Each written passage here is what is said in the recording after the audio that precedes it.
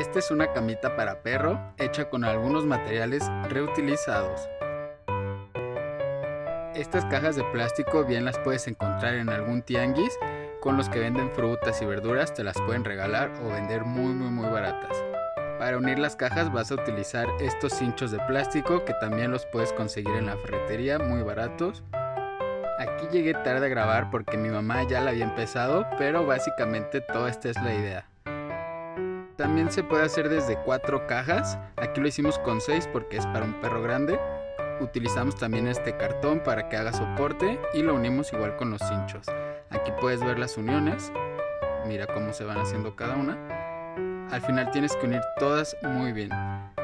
Aquí ya estamos poniendo la cobijita. Esta cobija igual la consiguió en el tianguis. Me dijo con la ropa de doble uso. Se la dieron por 10 pesos. Aquí está la ingeniera dando el visto bueno a la obra. Y vamos a extender bien la cobija o lo que le vayas a poner. Aquí mi mamá está demostrándonos cómo hace el amarre de los hinchos. Toda una experta. Para meter los hinchos igual te puedes ayudar con cualquier herramienta. Aquí lo está haciendo con unas tijeras con muchísimo cuidado. Pero básicamente así va a unir la tela, la cobija a la camita.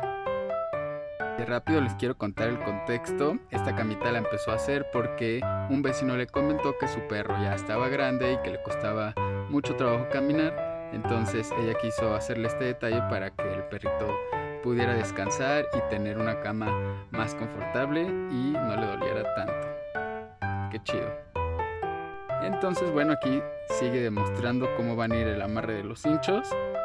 De fondo tenemos a la ingeniera supervisando. Así es como vamos a amarrarlos. Bien. Así es como quedan las orillas con sus hinchos bien amarrados para que no se vaya a mover nadita.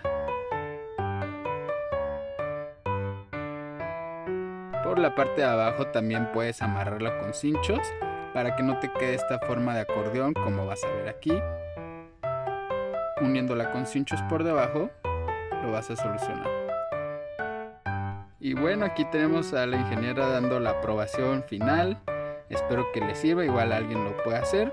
No nos gastamos a lo máximo 20-30 pesos y es una excelente opción. Chao.